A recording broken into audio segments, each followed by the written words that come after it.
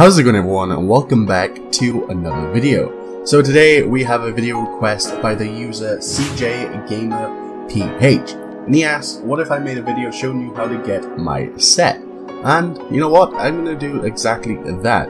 Now just to warn you there's some items you can't get in the game anymore and there's some items you can only get on certain events like Halloween. And yeah, unfortunately, there are a lot of items that you won't be able to get. Um, well, technically, there's one item you can't get anymore, and there's two items that you're going to need to wait for Halloween to get. But we'll get to that when we get to that. Now, firstly, rules is the weapon that I use don't really belong to my set. I kind of use whatever weapon I feel I like to use. Sometimes I use my dark, with it, my obsidian or dragon blade. Now, this is actually from a poster from HeroMart and you can't actually, well, I'm pretty sure you can probably get it if you buy the po poster now, but um, I wouldn't worry too much about the weapon that I use. You might want to use your own weapon because that's what I do. And um, I also use the GDC blade, which you might not be able to get anymore. This was a special code given out for people that attended the GDC uh, conference. But um, yeah, to be honest with the weapon, you should just use your own weapon. It, you know, it doesn't need to match the set. And um, yeah, I always change my weapons now and again, so it doesn't doesn't really matter. So um, yeah. Now the first place we're going to be going to is Mount Ashfall. Believe me or not, this is where you can get most of the set, and um, yeah, and the substitutes for these shoulders. I'll talk a bit more, a bit more about that when we get there. So yeah, you want to go to your map, you want to go to travel, you want to go to Ashfall, and then Mount Ashfall. If you can't get here, you may need to level up and do a bit of so, uh, the story in Ashfall actually get here. But um, yeah, let's uh, let's go over there. So when we're here, there's one person we want to talk to, and she is over here.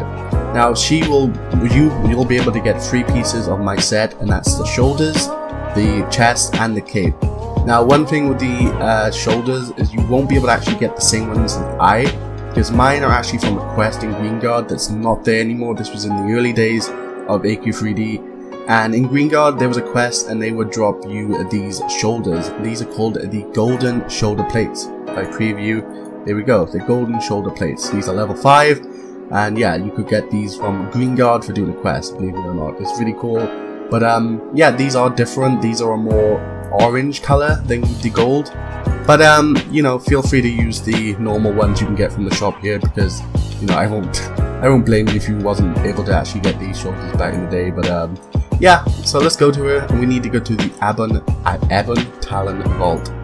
Now from here we're gonna need two items. The chest. Now this is the exact one I use in my set.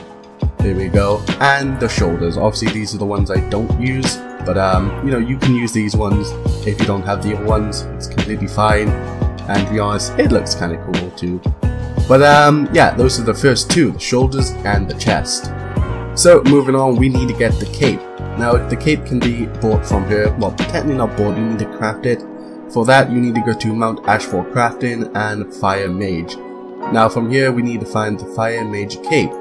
Now you're going to need to kill some stuff and make some ingots for this, but it's not going to be too hard, uh, especially if you're max level now, it's going to cost you 5k gold, and remember the Talon armor, each piece costs 200k, so to bet to buy the chest and the shoulders is going to cost you 400k gold to get those pieces, and an extra 5k gold for this.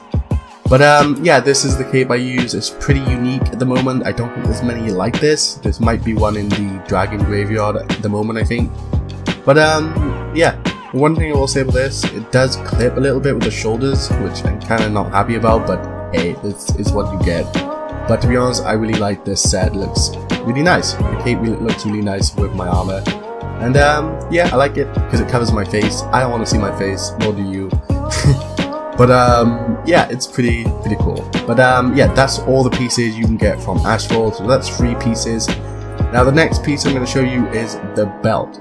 Now the belt is pretty cool. It's a gun. Now you can actually get this item pretty easily if you're at the right level. Uh, it does drop from a boss, so you're gonna need to grind him a little bit if he doesn't drop it. I wouldn't say it's rare, and I wouldn't say it's like super common either. Um, you might have to kill it one or, one or twice, once or twice to actually get it. But um, yeah, the boss is in Darkovia. So we're gonna go to our travel map, we're gonna go travel, we're gonna go to Darkovia. So now we're here, we actually need to travel up because technically it's not in this area. Unfortunately, they don't have like separate uh, teleports to different areas, we need to go to the outskirts, the forest area where the werewolves and vampires are fighting. So um, we need to go. Oh, hey Jake. I don't know who that is. I'll talk to him in a minute. Uh, we need to go over here. Wait for this to load. So from here, we want to go to. Well, we're gonna go past Little Dread, and we need to find a cave, which is over here. Uh, this cave is unlocked if you do the quest. I'm pretty sure. Oh, there it is. And we want to go here. Load the map. Now, when you're here, you want to make sure you go left. This is where you fight uh, David, and he will drop his belt and some other pieces too. So we want to go here, and we want to just enter public dungeon if you want to do it with people. But I'm just going to enter private because I want to do it on my own. And yeah, you're going to need to clear all this on your own or with a party. And we need to get to the boss. Now, once you've cleared all the way up to the dungeon, we will be able to fight David. Now, he's down here now he will have the chance to drop the uh, belt. Now, um, if you're max level or just near, he's not going to be too hard. You just want to kill him, and then hopefully he'll drop the belt.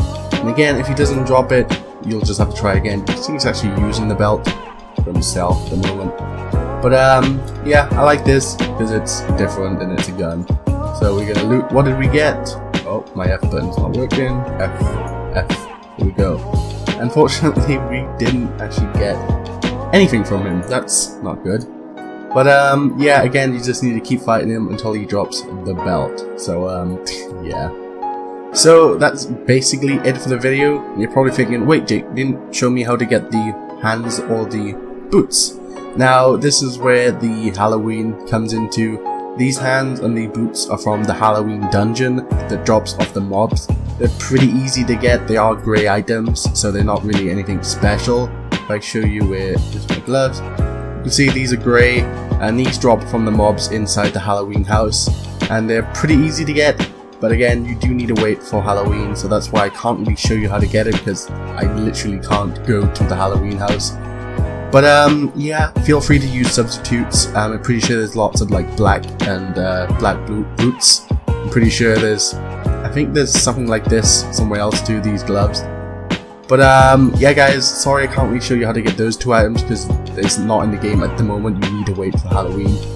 But um, yeah, if you have all the items besides the boots and the gloves, you pretty much have what I look like. You just need to substitute the hands and the boots and you'll be good to go. But um, yeah guys, that's it for the video. I hope you enjoyed it and if you're gonna wear my set, you know, send me a screenshot on Twitter because uh, I love to see what you guys think of my set. And um, yeah guys, that's it for the video. I hope you enjoyed it, and if you did, remember to leave a like, comment, and subscribe. And as always, I'll see you in the next one.